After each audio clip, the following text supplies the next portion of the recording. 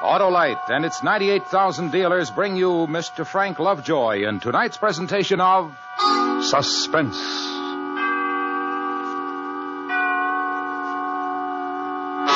Tonight, Autolite presents the story of a man who wanted to save his life, but he had to get into a fight to do it.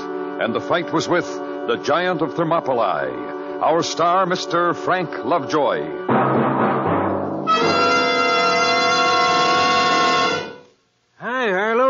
Doing some gardening? Yes, sir, Hap, and here's my favorite plant. Well, that's an Autolite Stay Full battery. Sure, the power plant for quick, dependable starts, Hap. And unlike other plants, this one needs watering only three times a year in normal car use. Oh, it's a daisy, Harlow. Sure is, Hap. It's fern away the best battery blooming. And it never gets bushed. Of course not. The Autolite Stay Full can take it better than a cactus plant because of fiberglass retaining mats around every positive plate.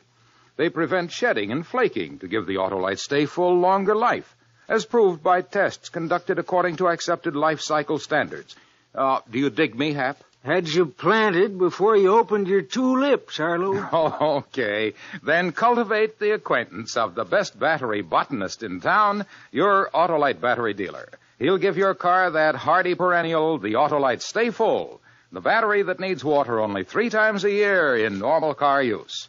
Remember, from bumper to tail light, you're always right with Autolite. And now, Autolite presents transcribed Mr. Frank Lovejoy in The Giant of Thermopylae, hoping once again to keep you in suspense.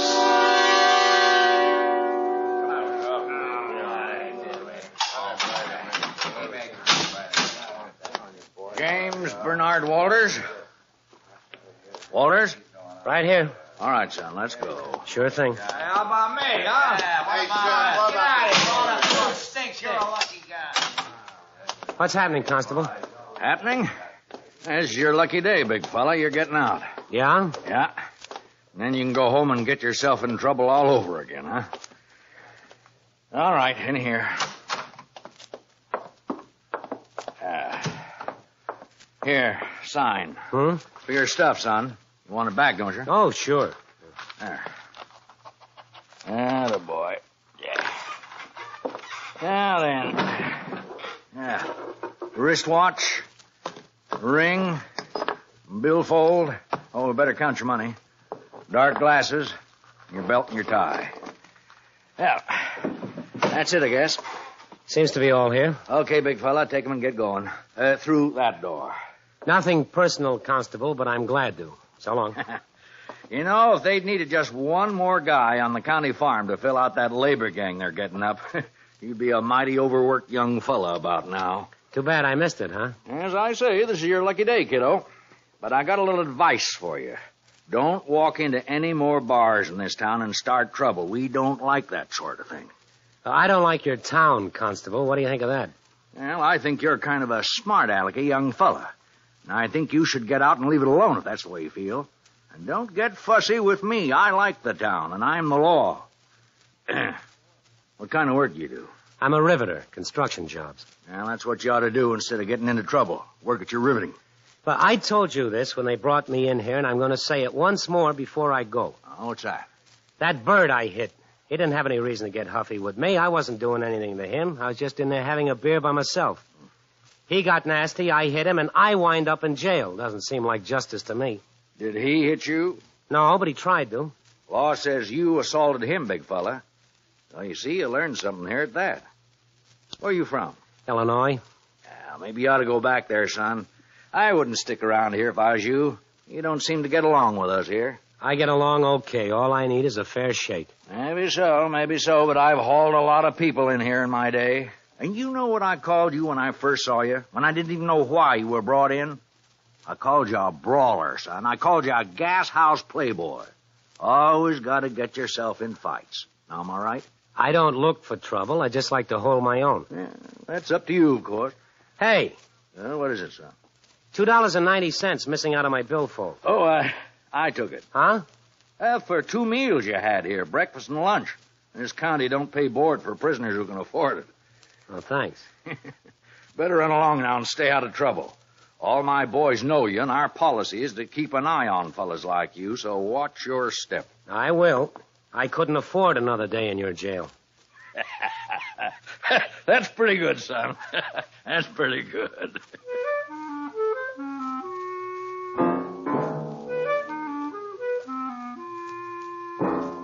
That's about the way this whole thing began.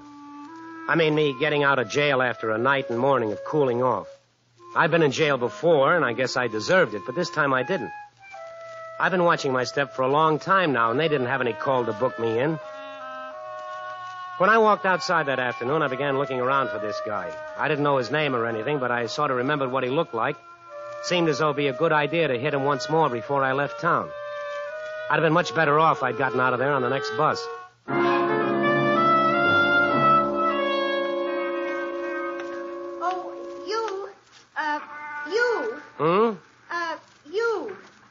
Me?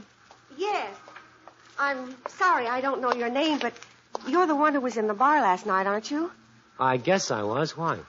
Oh, is it all right now? Well, I'm out, if that's what you mean. My name's Mary Jane. Mary Jane Kennedy. I knew they put you in jail, and I don't think it was a bit right, but I'm glad you're out now. I was going to come in and ask about you just now, but I didn't even know who to ask for. Uh, Jim Walters. They call me Walt. Well, Jim, I mean, Walt, that was a pretty decent thing you did last night. I'm awfully sorry you got into trouble over me. Huh? Well, I'd like to do something. I mean, it was very nice of you, and I. Um, where are you going now? No place. Well, come on, let's talk. Sure, why not?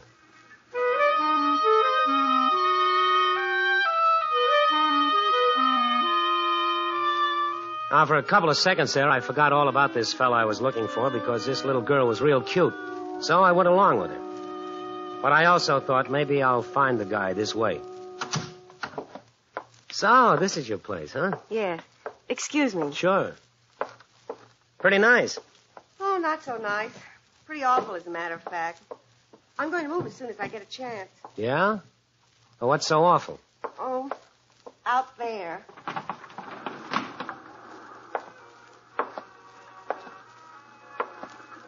That's what's wrong. The fun park. I think it looks kind of pretty myself. The Ferris wheel and the roller coaster and all. Sure do. You don't have to live with it every day and every night. You did, you'd soon get over that. It's a horrible place. Ugly and cheap, and noisy. Just horrible. Oh, well, it's too bad. But I work near here. This is the only place I could get. So I have to live in the area until I can afford something better. Mm, so noisy. Where do you work, Mary? At Allied Aircraft, I'm secretary. That's pretty nice. Say, uh, wouldn't happen to have a little drink around here, would you? Drink? Yeah, you know, bourbon maybe, or a glass of beer. I, uh, I wasn't thinking of anything like that, Walt. No? What were you thinking of then? Well, I just wanted to talk to you quietly for a minute. Thank you for your help last night. Oh, that's it, huh? Yes, that's it. Beats me. Just beats me. Maybe this is just a crazy town. I don't know. I don't understand you. Look, Sugar, you can play it any way you want to, but it was you who met me outside the jailhouse. You were waiting for me. And you brought me over here. Now, I saw you, maybe I saw you, I don't know, once before in my life, in that beer joint last night, maybe. You say you were there, I guess I might have seen you. Now, here I am at your place, I ask you for a drink, you start getting coy. Mary, you can thank me all night long, but I never did anything for you in my life. You're very funny, Walt. Yeah, it's a real scream, all right. Suppose we look up a drink around here and then, well, we sit down over there where we can look surprised at each other a little better, huh? I don't have anything to drink here. I don't want anything. Well, that's pretty definite. Walt, last night you hit Tim. You hit him good and hard, and you got in trouble for it. Why'd you hit him? Tim, that's the name of the guy? Yes, Tim Bennett. Why'd you hit him? Well, because he got awful frisky with me, and I don't let anybody get away with that kind of thing. If he hadn't combined started shooting off his face, everything would have been all right. As it was, he made me hit him, and then I had to spend the night in jail because he felt frisky. I don't understand this. I've made a mistake. Well, I don't understand it either. Don't look at me that way. I haven't done anything to you. Didn't you know I was with Tim Bennett last night? Were you? Yes, of course I was with him. And he was pretty nasty about Owen and me. And just when he was going to hit me, you hit him. Oh, well, that clears that much up. So I did do something for you at that. But you didn't hit him on account of me, did you? Sure I did, baby. Sure I did. Oh, no, you didn't. You hit him for some other reason. No, no, baby. Now, let's have a drink. Oh, get out of here. I met you today because I thought you helped me last night. You didn't help me. You're nothing but a brawler. All right. I hit him because he walked by and said something. That doesn't mean we can't be friends. My mistake, mister. Just go and forget it. Okay. We both messed this one up, didn't we, Mary? Well, can you tell me something? What? Where can I find him? Tim Bennett? Yeah. Works at the fun park. He owns part of it. Well, where do I find him over there? I don't know. Maybe at the Ferris wheel. Sometimes the fun house. Moves all around. Why? Well, I still remember I spent the night in the pokey on account of him. I figure he's kind of a big talker and needs a little working over before I leave town. Hmm? Before I leave town, I think I'll look him up and smack him once again.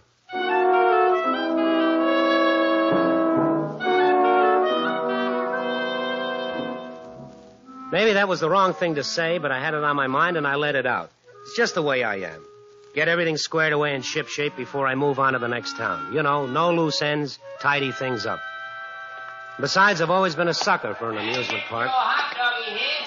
Get your red hot hot doggy here. Get him while they're hot. Get your hot doggy here. Hot dogs. All right, get your hot doggies here. Hot doggies. Get your red hot hot doggies here. Yes, look at her in DMA. Now step right up and get your ticket. Show's about to begin on the inside. Tickets. Tickets. How many, brother? Where do I find Tim Bennett? Tim Bennett, friend. He owns part of this junk heap. He works here. Where do I find him? I want to talk to him. Rather fun house, Pally. Thanks. Hey, don't I know you? Why should you? Oh, 'cause I hear you had a little trouble in a beer joint with Tim last night. Then I guess you know me. You say the fun house? Yeah, right across the way. And have fun. Don't worry, I will.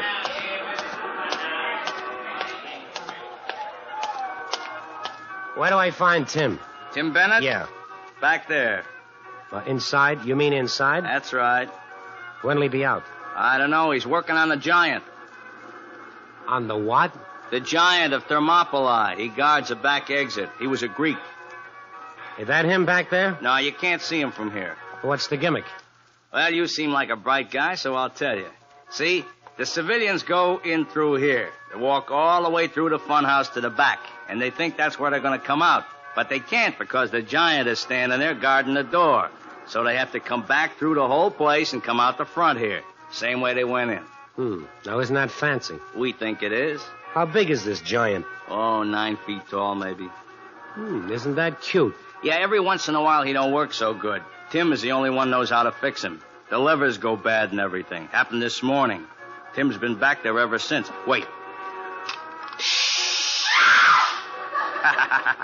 Got her going in, too. Well, you're a real panic. I want to see Bennett. Well, you'll have to go through the house. Okay. And you have to get a ticket. Oh. Well, I wouldn't want to miss him.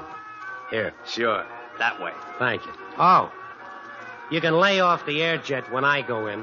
Huh? Laugh, getter.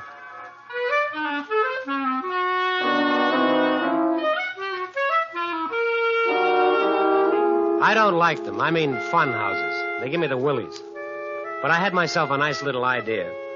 If Bennett was in there working on that big giant, I'd find him, and it'd be just him and me inside, no local cop around to toss me in the pokey. I still owed him something for the night before, and I could pay him back and sort of have a little extra fun in the fun house where nobody bothers us. Took me ten minutes to scram through the barrels and the room of mirrors and the slides and whatnot before I got to the giant. It was an awful looking thing. It was nine feet tall easy. And it had this ridiculous motion. When it was standing up, it blocked the door all right, but then it would laugh. And as it did, then it would bend forward like it was staring at something on the floor. Then, after a couple of seconds, it would straighten up again with all its gears clanking.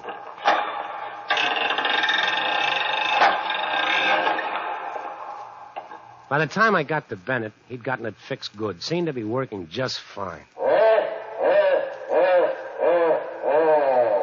Sort of automatically, I looked at the floor where the giant was looking. And all at once, I didn't want to see Tim Bennett anymore because he was lying there right at my feet.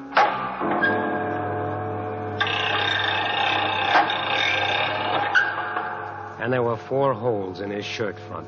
Four holes made by a knife, and Tim Bennett was as dead as you can get.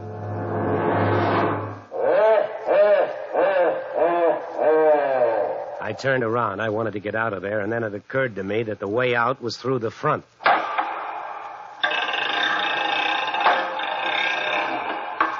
And me and my big mouth. Everybody in the world almost knew I'd been looking for Bennett so I could hit him. I had to get out, sure.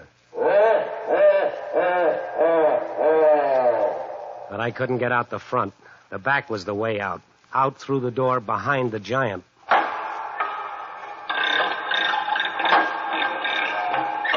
But how to do that? Well, watch the pattern of the big fella. What exactly did he do? Was it impossible to get past him? The laugh. And as he did it, he bent down and looked at the floor, which left a little space along his left side, room enough to get through before he straightened.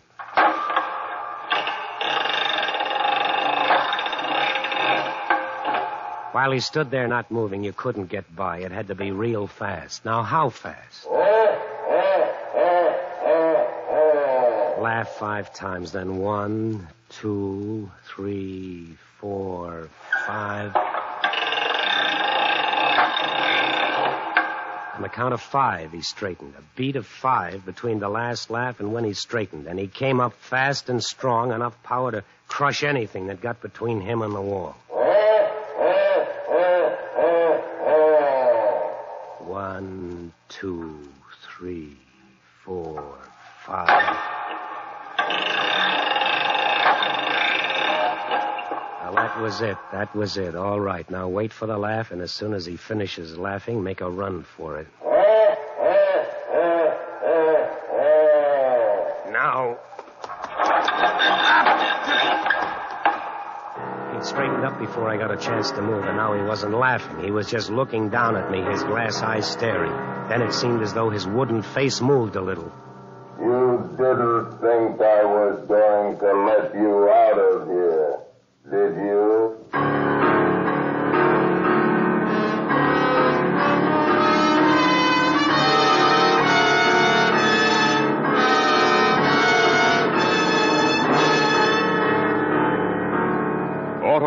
Bringing you Mr. Frank Lovejoy in The Giant of Thermopylae. Tonight's presentation in radio's outstanding theater of thrills, Suspense.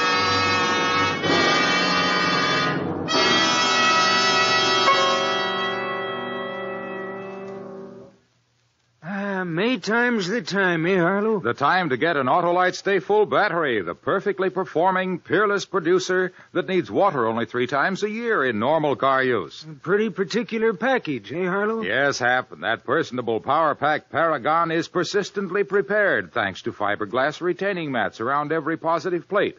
They reduce shedding and flaking to give the Autolite Stay Full longer life, as proved by tests conducted according to accepted life cycle standards. And there's another kind of protection, too, Harlow. Sure, Hap. The Autolite Stay Full has over three times as much liquid protection as batteries without Stay Full features. That's why it needs water only three times a year in normal car use, and it says so right on the battery case. Right. So, friends, visit your Autolite battery dealer. He's equipped to give you the best in battery advice and service. And only he has the world famous Autolite Stay Full battery. Remember, from bumper to tail light, you're always right with Autolite. And now, Autolite brings back to our Hollywood soundstage Mr. Frank Lovejoy in Elliott Lewis's production of The Giant of Thermopylae, a tale well calculated to keep you in suspense.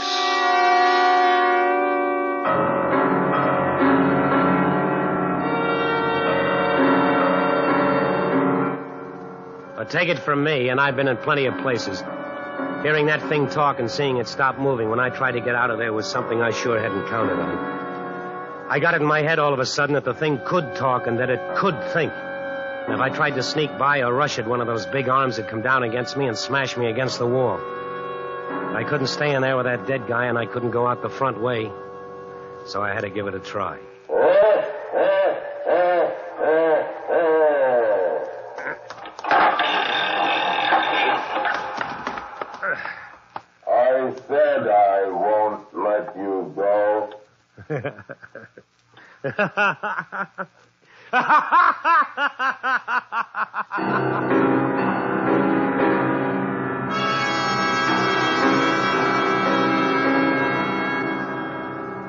So there I was, sitting on the floor next to Tim Bennett, who was dead, just kind of looking up at this big, ugly giant. And he wasn't laughing now, not a bit. He was just hoping I'd keep rushing him until he battered me to death.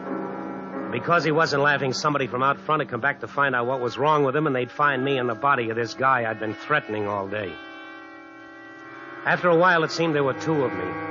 The one sitting on the floor, sort of whimpering and crying and looking at the giant. The other one sitting there and saying things to himself. Things about giants and fun houses made of wood and metal and rags and a couple of gears. Well, that one didn't whimper. He said, nothing like this big thing can talk, really. No giant they got standing up in the rear end of a fun house to scare the suckers can think. And those big arms are only levers, and those eyes are only light bulbs, and that laugh is only a record. And the talk? I decided to find out about that. Go ahead, laugh, you big pile of junk. I'll show you. I'll show you this hunk of frame.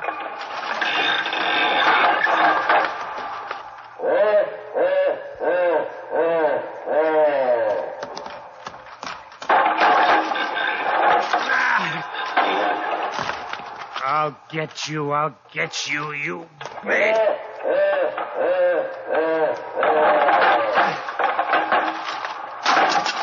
Now, take a good look at this. Four feet of iron, as tough as those arms of yours. Let's see how you like this. That's it. Bend and see how you like this. How do you like it? How do you like it?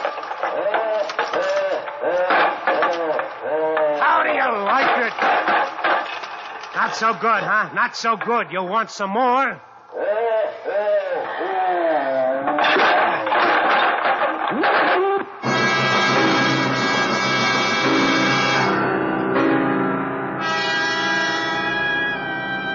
I was right about the laugh anyway. It was a record, and now it was broken. And then suddenly, for no reason at all, the arms started to move up and down again, but without any noise and kind of helplessly. I didn't waste any more time. I saw my chance to scoot, and I did. I sprung open the door behind the thing, and I got outside. Hey, what is this? Huh? Hey, what have you been doing? You busted up the giant? You crazy or something? Hey, look, buddy, where's Tim? He's in there with Hey, what's the matter with you? your giant. He's trying to turn his head. Huh? See, he's trying to turn his head. You You busted him. I sure did. I busted him good. I did. He's bleeding. Look. Holy smoke. I showed him. I showed him. Go ahead, laugh. Laugh at me now. Can't you laugh?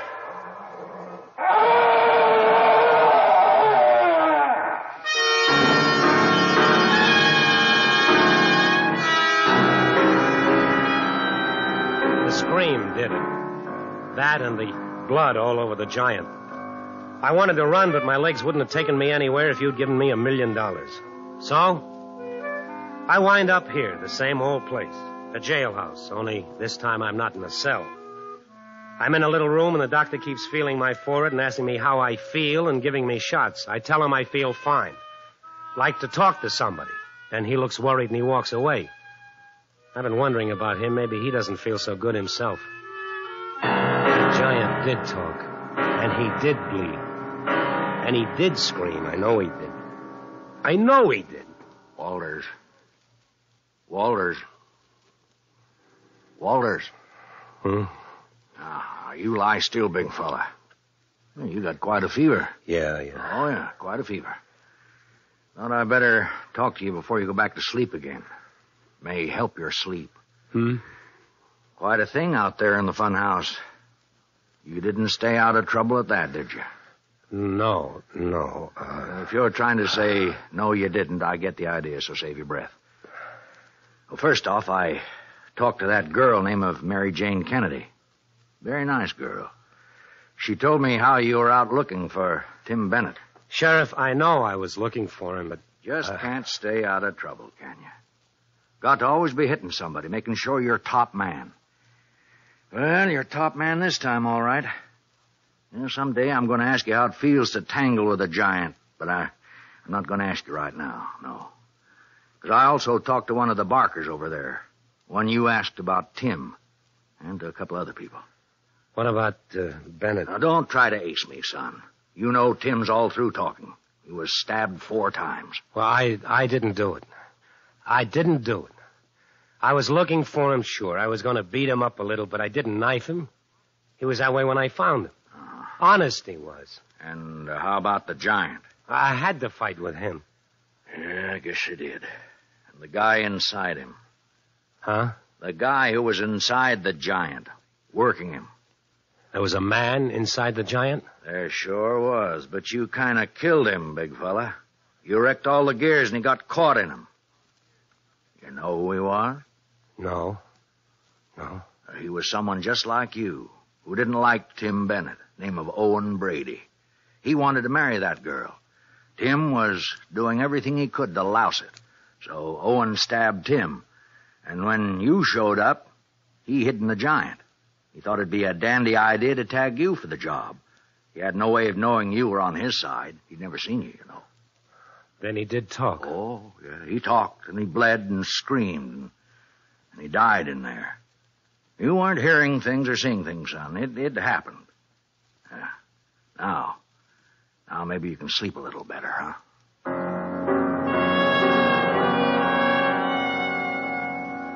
I sleep, but not much better. I know what it was all about now, but I, I still think of it and wonder about it. And I hear it every now and then.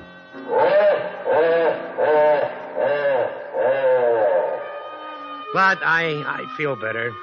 I haven't fought with anybody for a long time now, and never will again. But my last fight, oh, that was a pip. I whipped the giant of Thermopylae.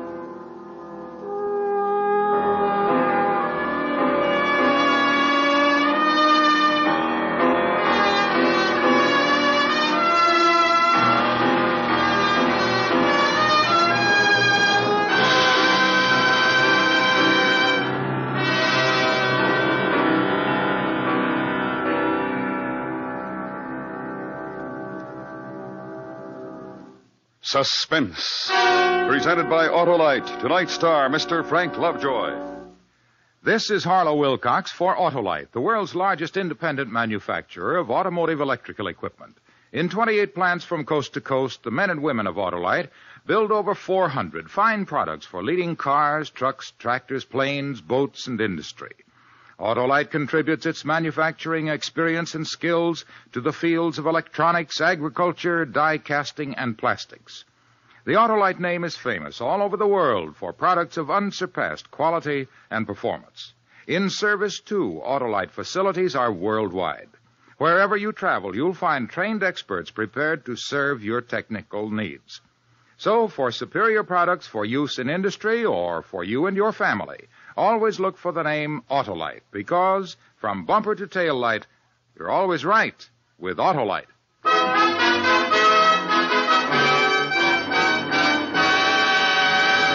Next week, the true story of a reign of terror, the dramatic report of the final moments of a beast, a man without conscience, a professional killer. It's called The Last Days of John Dillinger.